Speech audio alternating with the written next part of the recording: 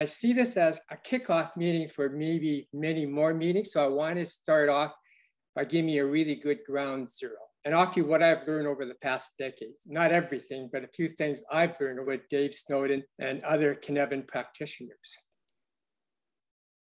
Ground zero begins with a map.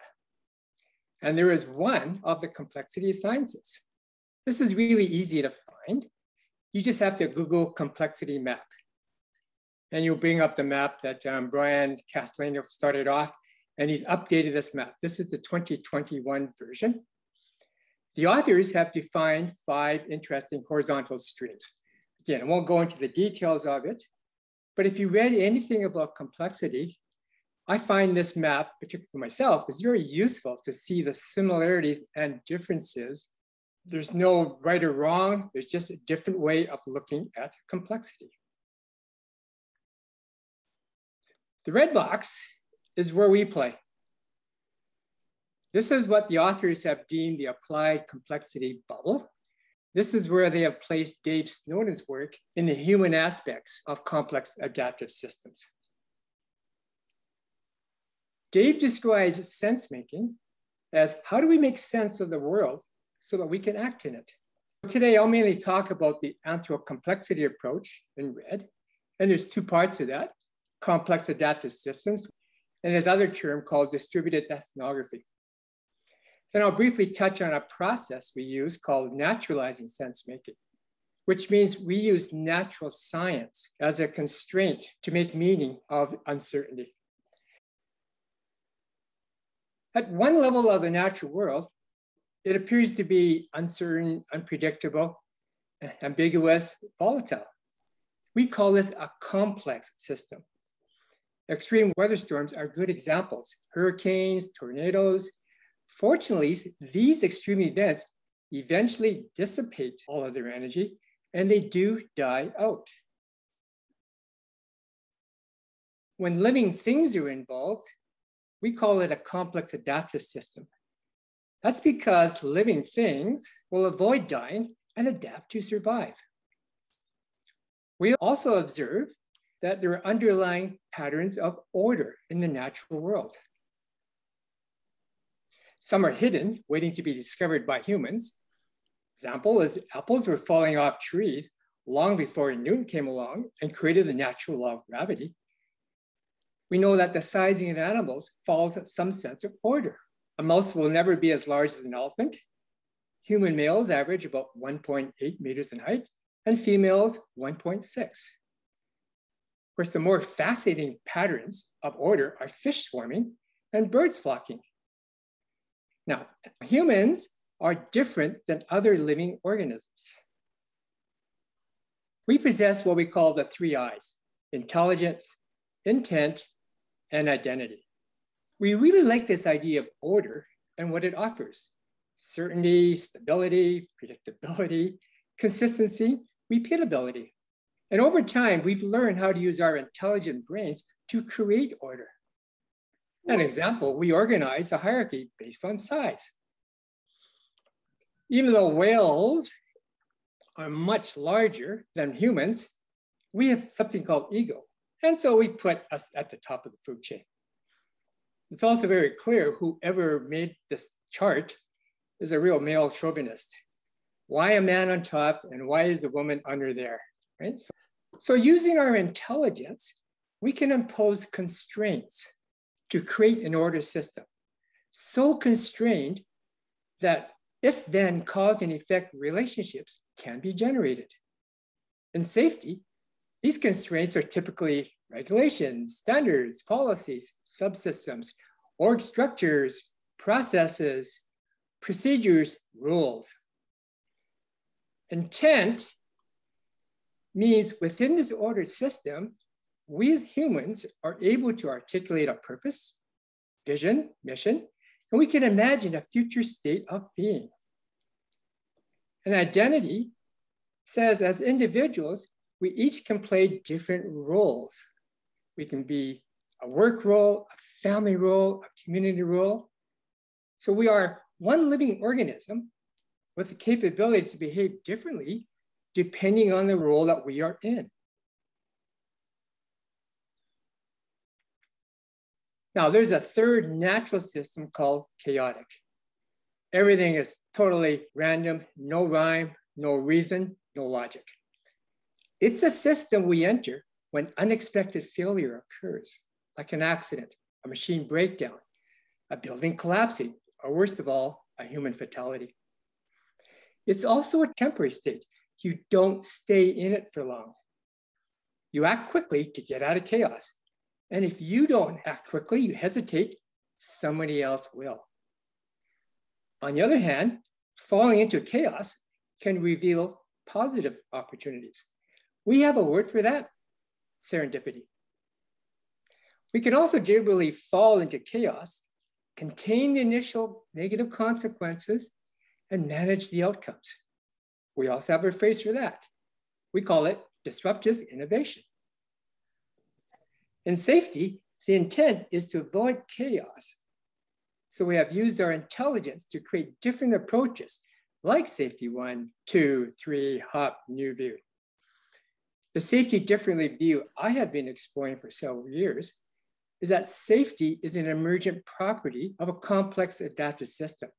You don't see safety as a product or a service or something that you create. It just emerges from the conditions, the constraints that you have placed into the organization. When a violent storm unexpectedly appears, we adapt to survive. We change the human imposed constraints, hoping that safety emerges. But we also must be very alert because our adjustments may enable danger to emerge. This graphic shows the three systems as a single plane. A complex adaptive system contains all three systems. This is the concept of systems of systems or nested systems. You don't remain in one system, but will move from one system to another to get work done. The boundary between order and chaos represents a physical cliff you can actually fall over. So just think of taking a piece of paper and folding over to create an edge that you can fall over. If you've heard of the term edge of chaos, it is represented by this boundary. The red arc, moving between complex and order, or from chaos to complex, is a transitional mental shift, not an abrupt physical change. All industries like aviation, and aerospace are complex adaptive systems. And all organizations within an industry are complex adaptive systems. So with this basic understanding of the three systems, let's see how we can develop a framework to make sense of the real world. And the reason why we want that is that we want to make better decisions. So what we'll do is that we'll start by splitting order into two domains, complicated and clear. We'll put one in the middle and we'll call it confused. This is the state of not knowing where you are. This is the Cynefin framework. It's a sense-making framework. It's not a prescriptive solution, but just a way to describe where you are at this moment. We make sense of the present situation so we can act accordingly and make the appropriate decision. So we'll talk a bit about that. This is how the Cynefin framework is drawn. Cynefin allows you to understand how to act. Each domain has its own decision-making methods and tools. And no domain is better than any other. A clear domain has rigid constraints, such as golden safety rules, best practices, SOPs. Decision-making is very clear. What we do is that we sense, we categorize, and we respond. You've seen this situation before, and you're trained to get it done. There's only one right answer, so comply and just do it.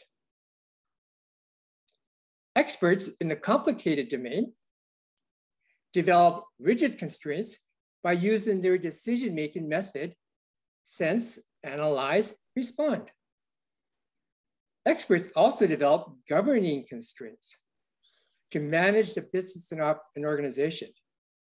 If these experts can't agree on a problem fix or maybe want a new solution, they move into the complex domain to probe sense and response. This means conducting trial and error experiments discover a new idea that may emerge as a solution they can bring back into the complicated domain.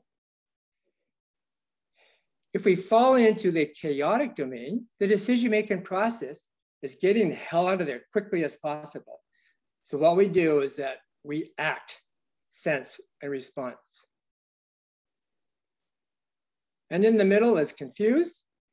This covers those situations where you don't know what to do. You could choose to deliberately stay there, wait, and observe how things unfold, or choose to head to another domain and follow its decision-making method. You'll hear people say that they feel that they're in constant chaos. Well, if they're not in any physical danger, I would suggest they're probably in the confused domain and just not sure what to do. In some cases, it's this idea of being stuck or being paralyzed. You just don't know what to do. So let's create a Cynefin framework for aviation safety. I find the beauty of Cynefin over the years is that there are seven versions available. I'm going to pick the one that's going to be used for us. It's a very straightforward one. And in the middle is just something called confused. Other versions have aporetic, confused for deeper conversation, while the latest version adds something called liminal spaces. Now, liminal spaces is just a concept that came from anthropology. It's a suspended state before you switch into different domains. And the longer you can hold it here in this temporary suspended state, the less risky it is when you finally move over there. We don't really need to know that for our conversation today, but it's nice to know that if we do, we can introduce that. During the BALPA conference in May, I showed in which Cynefin domain the earlier February conference presenters resided. In the clear domain, training is a huge component. Frontline workers adhere to SOPs and sense categories response to get work done. This is the old Nike just do it right here. When a presenter came up talking about complicated mechanical system, well, that's easy. That's right in the Cynefin complicated me. Aviation regulators, they work here as well. They develop governing constraints such as these regs and these standards to guide worker behavior in the industry. And then management and safety professionals translate these constraints into policies and plans, rules, procedures to direct clear domain workers. If you're in risk management, this is where risk management is performed because it's done by expert analysts in the complicated domain. This is interesting. I am showing the social technical system straddling the complicated complex border. On that single plane diagram, it's that red line. This is not a physical shift, it's a mental shift between here back and forth. Okay? And why is it here? Because people must deal with known knowns and known unknowns, better known as risk, in the complicated as well as unknown unknowns in the complex domain. And depending on the information you're seeking, knowledge you want, you may be here, go there, and you may come back here. So this is often we call a loop back and forth. That's where the complex social technical system fits really well. Way over here in the complex, and this is what Robert DeBoer presented, innovative micro experiments. This is where Robert knows very well in his book what he does in the complex domain. He's experimenting. He doesn't know what the outcomes are going to be. They're quite unpredictable. And he just wanted to see what will emerge as a potential solution that could be quite useful. If you have learning crews and learning reviews, they belong here. And one of the presenters did that and it nicely fit in with their, what they called sense making steps.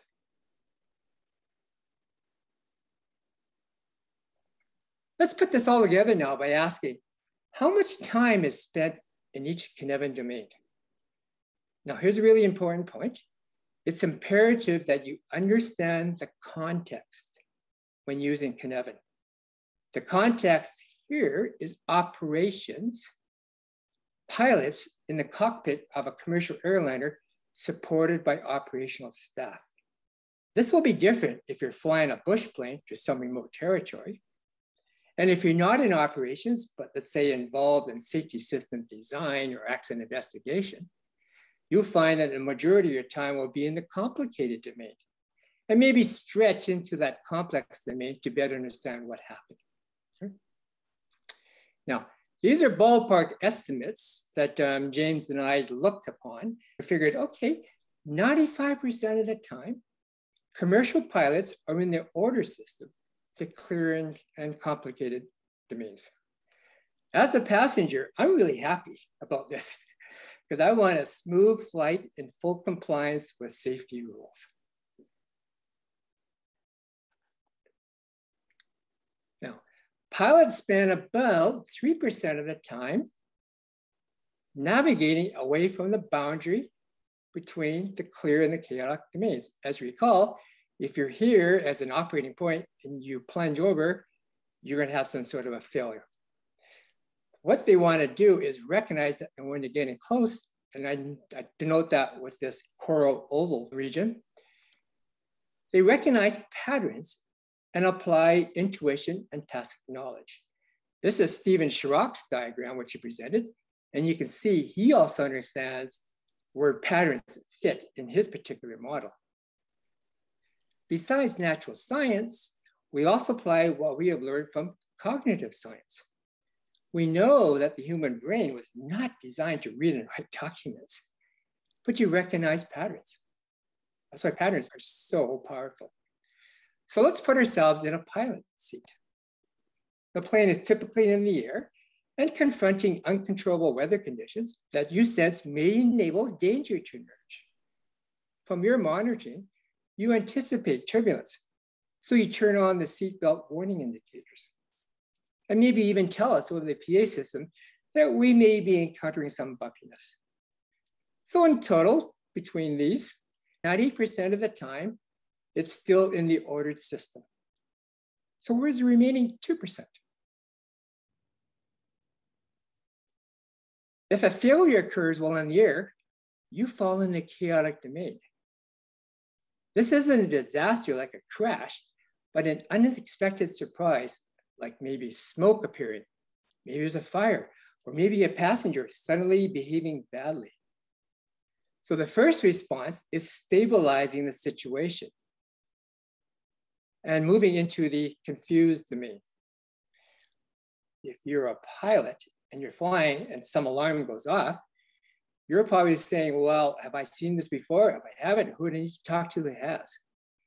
If that resource isn't available, then you have to move into the complex domain and start experimenting using hunches based on your past experience. An aerospace example we can use is the Apollo 13 crisis. They had to create a carbon monoxide scrubber only using what was available in the capsule. And it's amazing what can emerge when you have limited resources and under tremendous time pressure. Now, if you heard of the term weak signal detection, this is where it happens. This is the whole idea. It's like, okay, something I don't feel good about. What can we do to get away from the boundary, not fall over into the chaotic domain? Work in the clear and complicated domain, I believe, falls under this term safety one that Erik Hollnagel coined and also what we call robustness. Safety two is understanding why things go well. This is what we do in the complex domain. We probe with experiments, monitor the consequences, learn what works or doesn't work, and respond with new solutions to make a system more resilient.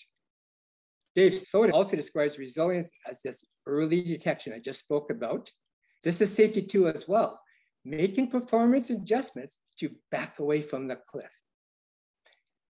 When you look at the entire Cynefin framework, you can see why we say Safety one and safety two is a both and and not an either or. Um, I'm honestly quite tired of hearing the bun tossing going between the safety one and the safety two people. It's not a dichotomy, it's a both and.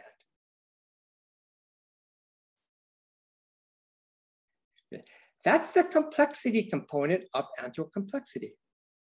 So let me give you a brief chat about the anthro part, which is distributed ethnography, and then moving into this thing called SenseMaker. Okay. This is the SenseMaker process developed by Dave Snowden. Dave started developing this way back in 2004, and it's gone through some iterations. This is the latest slide that, well, not latest, but it's a slide that I use. You can see it's dated 2012. So it's really proven over the test of time.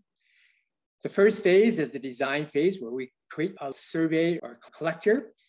Then we go into a narrative collection and we do it online from anyone, anywhere, 24 7, 365. This is what we call distributed ethnography. Essentially, we're saying that everybody is an ethnographer and they have stories that they can listen to and there's stories that they can share. So we are stealing from the science of anthropology. In the analysis and sense-making step, we can look at patterns that are formed by the narratives in, on a real-time dashboard. SenseMaker is a pattern detection software tool and an underlying methodology that adheres to the basic principles of working in a complex adaptive system. Now, stories are a huge component of culture. Behaviors are above the waterline because we can see them. Stories are below the waterline, way down deep in what we call the iceberg model. Stories provide context in terms of deep feelings and emotions.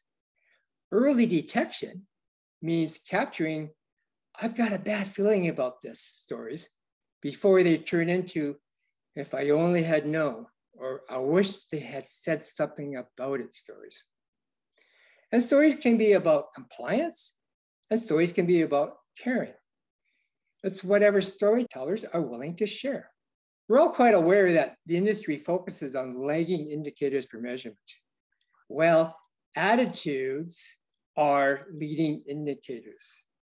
We're getting insights of how people are feeling, but have not acted yet.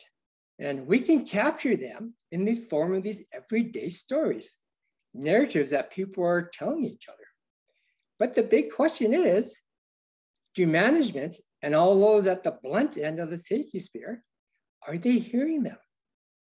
Well, firstly, it depends on the level of psychological safety in organization do people in the blunt sphere end really want to hear these stories?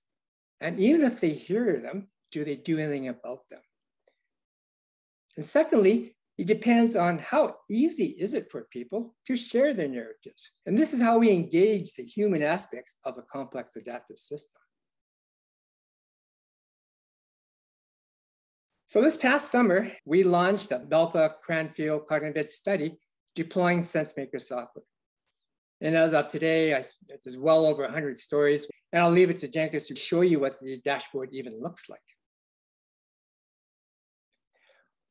What I'm really interested in is this question about heuristics. I think we should ask the question to find out what are these heuristics pilots are using. We're in that coral oval space to pull back from the edge and into the safe operating end.